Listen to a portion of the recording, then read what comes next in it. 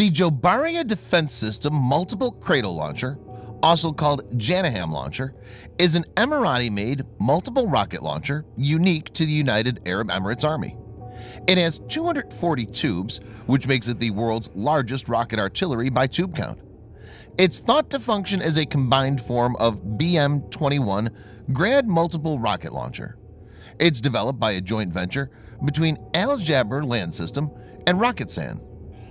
In this video, Defense Updates analyzes Jobaria Defense Systems Multiple Cradle Launcher. Let's get started. This video is sponsored by the free-to-play military vehicle combat game War Thunder. We talk a lot about military vehicles on this channel, but what about trying them out for yourself? In War Thunder, you can choose from more than 1,200 playable vehicles from the 1930s to the 1990s and go to battle on more than 80 theaters of war. You can fly aircraft, helicopters, drive tanks, and command ships of all types and sizes, which have been carefully recreated from their real-world counterparts. It's available as a free download on PC, PlayStation 4, and Xbox One with cross-platform support. So grab your friends and give it a try. All viewers of Defense Updates that register using the link in the description below will also get a free premium tank, aircraft, or ship and three days of premium account time as a bonus.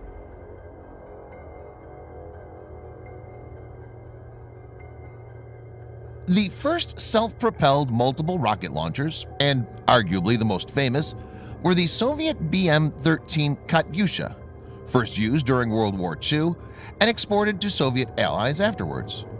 Multiple launch rocket system since then has been part of most modern armies.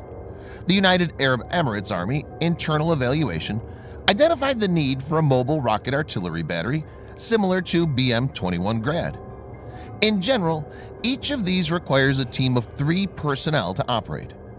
But since the United Arab Emirates has limited manpower, they wanted something that possessed more firepower but require limited manpower to operate. This need gave birth to the concept of multiple cradle launcher.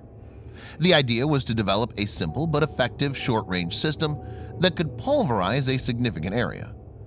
The idea was to develop a simple but effective short-range system that could pulverize a significant area.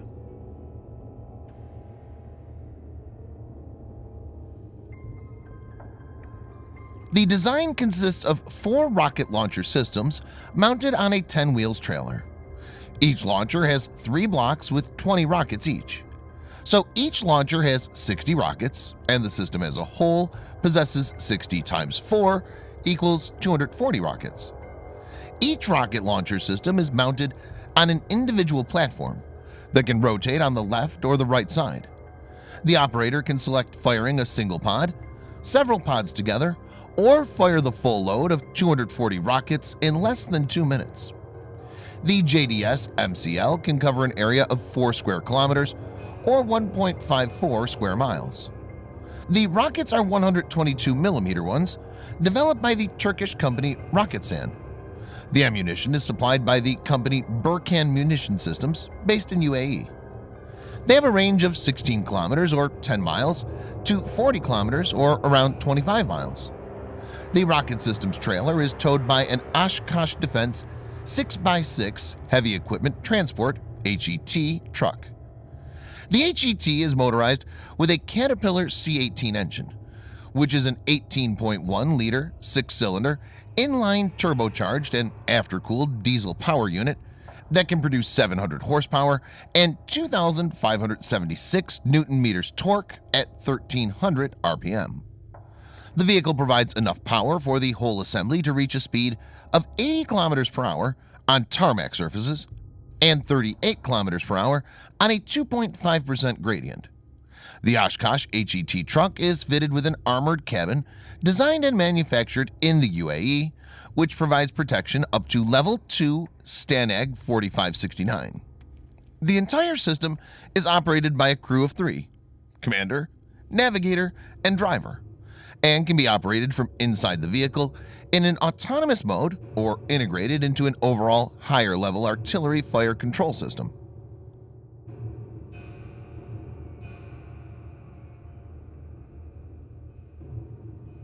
A normal multiple launcher rocket system can create a lot of havoc against a rival. They can be used both in offensive as well as defensive role. These are especially effective against infantry. Jobaria Defense Systems' multiple cradle launcher is unique as it possesses huge capacity. A single system deployed in a tactically suitable location will provide a battlefield commander a lot of flexibility.